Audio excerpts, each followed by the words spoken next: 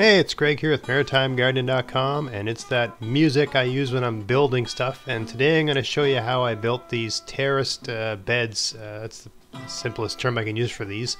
Just uh, little log gardens that I put on a south-facing slope uh, outside of my garden enclosure. I'm going to grow pumpkins here.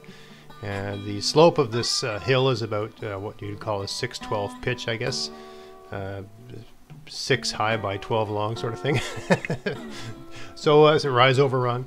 So uh, what have I done here? I've, I've made a little uh, box. I just used some some dead uh, dead trees, logs. You can use whatever you got, but uh, I made a little box. It's about 24 inches by 24 inches. I think that's about the amount of space a, uh, a pumpkin needs.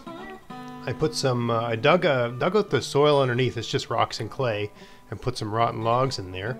And then I put, uh, if you'll see those buckets there, I put half of one of those a horse manure in and uh, stomped it down with my foot a bit. And here I am just putting some uh, nice uh, topsoil. This is compost uh, on top. And this is the general approach I use for the three beds. I didn't, uh, this, this one here was nailed together, but the other ones I put together just using uh, pegs on the outside. If you put pegs on the outside and the soil holds the inside together. Uh, uh, so that's what I did with those. Uh, and now I think I'm putting some, this is seaweed, I believe. So I love putting a, I'm putting a bit, oh this is leaves here. I'm putting a bit of leaves down and I think I put seaweed over top of the leaves if I recall. Uh, you don't need seaweed for this. Uh, I've just got it and I needed to use it somewhere and uh, any plant that you want to give a real strong boost to, if you've got a, an easy to get at source of seaweed, uh, I would use it. I would never go and buy seaweed products from a garden center. You are, you are getting. I'm sure there's some people that swear by it, but I would never buy that. I use seaweed in all my gardens, but I would never buy it, right? Uh, uh, but it, it is like it really seems to heat the soil up, and uh, when you're putting like just this is like dead seaweed off the beach.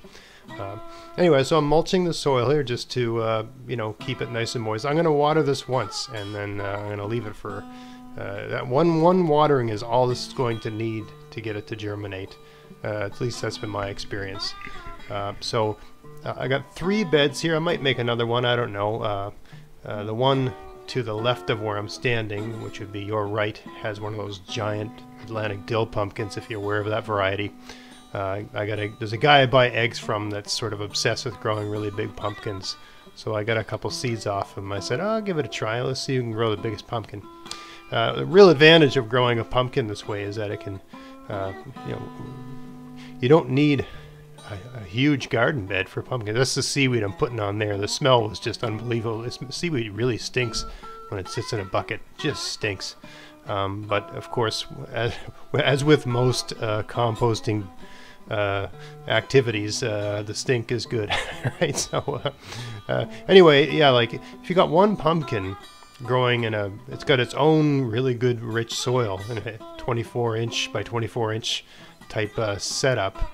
Uh, that would be 60 centimeters by 60 centimeters for people that do metric. and then you can just let the vines sprawl all over. I mean, the surrounding area around this bed is just weeds. It's just weeds and rocks and clay and not very good soil.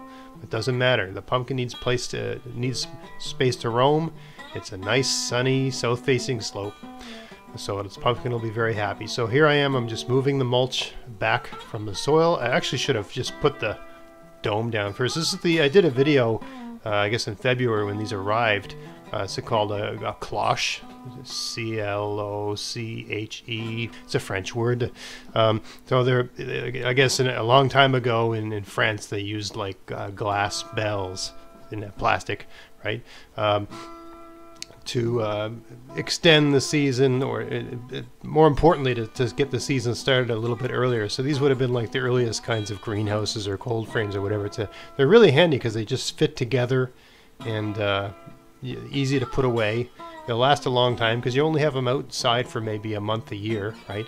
I mean, this pumpkin's going to get going. I'll leave the cloche on there until the pumpkin's too big for it. Then I'll take it off. And, you know, we're still, what is it? It's, it's, uh, I, I made this video on June 8th, I think.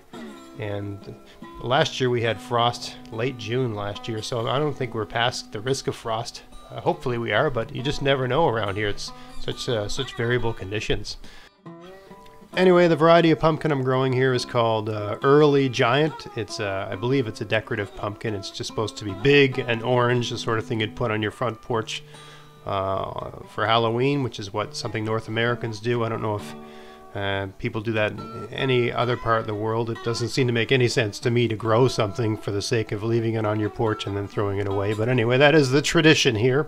Uh, I don't grow a lot of decorative pumpkins, but I thought I'd do a couple this year and it'd be a fun experiment just to see uh, how well this garden works. So, I mean, in terms of sowing for pumpkins, I like to put them about an inch deep uh, in nice, healthy soil.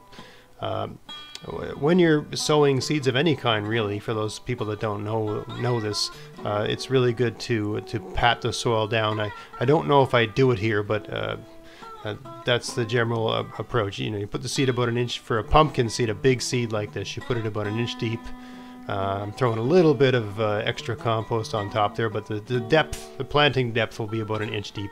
Then you just sort of pat it down. And uh, I don't do it in this video, but then you should water it. water it, then put the cloche on. Uh, as soon as I finished filming this, I took it all apart and watered it, put the cloche back on. But anyway, just for the sake of uh, continuity, just assume I just watered it there because that's uh, what I did for all. I, have got three of these beds. Um, the thing's got a vent on top that you can open or close. I just close it that way. All the water, the moist, you know, it'll get hot and the water will cause condensation, but then it falls back down. You can see me sort of talking here, and that's because I filmed this video twice. And the whole point was to have me talking out in the garden while I was doing it. Uh, but the first time I didn't have my microphone on properly with the camera, and all you could hear was wind. And the second time, my next door neighbor started mowing his lawn, and all you could really hear is a lawnmower. so it's like this. it's like fate did not want this video made, um, and I, I, just didn't have it in me to film it again. Uh, so uh, I decided to do this voiceover to salvage the footage.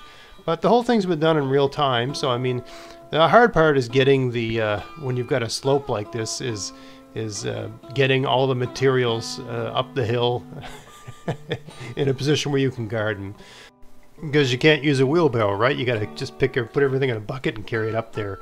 Uh, but it's a one-time deal. Right next year, all you got to do is plant stuff. But anyway, if you've got a slope like this, and uh, you know maybe you don't have the energy or the wherewithal to turn it into a big elaborate garden, you can just make some little beds like this and plant something in there that'll sprawl all over the place. Right? Pumpkins need a lot of space, but in terms of soil, good growing soil, the roots don't need a whole lot of space, maybe just 24 inches by 24 inches, 60 centimeters by 60 centimeters.